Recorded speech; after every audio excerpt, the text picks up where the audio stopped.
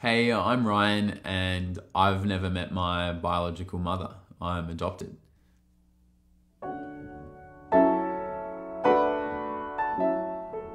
So, my birth mother's name is Julie, and she left me a letter. So, from the little information I know, it seems that when she got pregnant unexpectedly, uh, she didn't believe that she had the time or maturity to be a great mum, and she sort of implies that she didn't have the best upbringing and she wanted to make sure that her child had every opportunity available. So, she thought the best thing to do would be give me up for adoption. I'm almost 30. I'm, um, I'm really happy I'm here. I think when people get pregnant now and they don't want a baby, um, without wanting to get into the abortion debate, I'm really happy to exist. My parents, who I now call mum and dad, they were told they couldn't be parents and now they are, so they're really happy as well.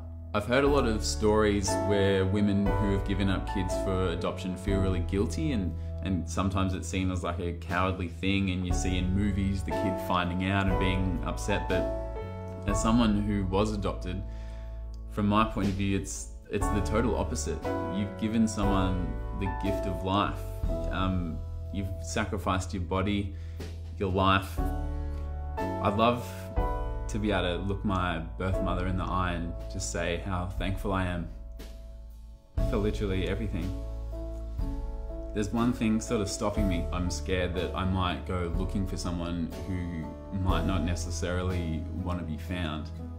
She wasn't quite ready to be a mother when she had me, but I hope that she grew up, met someone, got married, and now has a family of their own.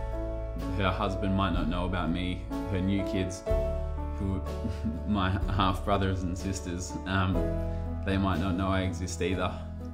And you know, I don't want to be the skeleton in the closet. I don't want to create any awkward conversations or situations for her.